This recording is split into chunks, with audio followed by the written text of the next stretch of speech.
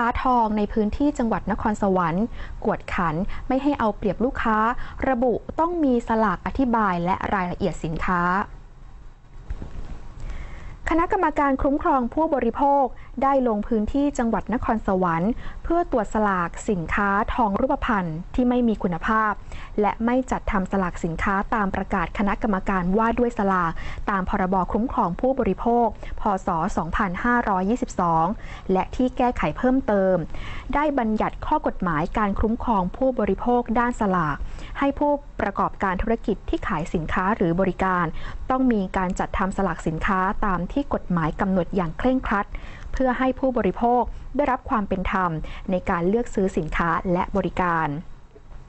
โดยทางสมาคมค้าทองคำได้เข้าพบสำนักงานคณะกรรมการคุ้มครองผู้บริโภค กรณีผู้ประกอบการ ร้านขายทองรูปพรรณในพื้นที่ต่างจังหวัดบางรายจำหน่ายสินค้าทองรูปพรรณที่ไม่มีคุณภาพ และไม่จากทำสลากสินค้า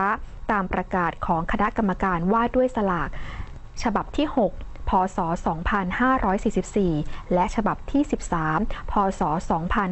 2546 เรื่องให้ทองรูปพรรณเป็นสินค้าที่ควบคุมสลาก ส่งผลให้ผู้บริโภคถูกเอารัดเอาเปรียบจากผู้ประกอบการดังกล่าว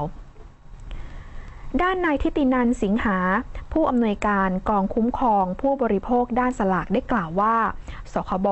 มีความจำเป็นที่ต้องมีการกำกับดูแล ทั้งเชิงปราบปรามและป้องกัน เพื่อเป็นการคุ้มครองผู้บริโภคให้ได้รับความเป็นธรรม และเป็นการบังคับใช้กฎหมายอย่างเคร่งครัดโดยทองรูปพรรณที่ผู้ประกอบการธุรกิจนำมาจำหน่าย จะต้องแสดงข้อมูลเกี่ยวกับชื่อ ประเภท ชนิดของสินค้า รายละเอียดผู้ประกอบการธุรกิจ น้ำหนัก ราคาขาย ราคารับซื้อคืน หากผู้ประกอบการธุรกิจรายใด ไม่จัดทำสลากหรือสลากไม่ถูกต้อง ต้องระวังโทษจำคุกไม่เกิน 6 เดือน หรือปรับไม่เกิน 50,000 บาท หรือทั้งจำทั้งปรับ มีการวางจำหน่ายในแต่ละชิ้นเนี่ยมีน้ำหนักเท่าไหร่ เพื่อให้ผู้บริโภคได้มีการให้มีข้อมูลในการเลือกซื้อเลือกหา แล้วก็ตัดสินใจในการซื้อ แล้วก็มีการแสดงป้ายราคารับซื้อ แล้วก็ราคาขายที่ชัดเจนแน่นอนนะครับ เป็นสร้อยคอสองสลึง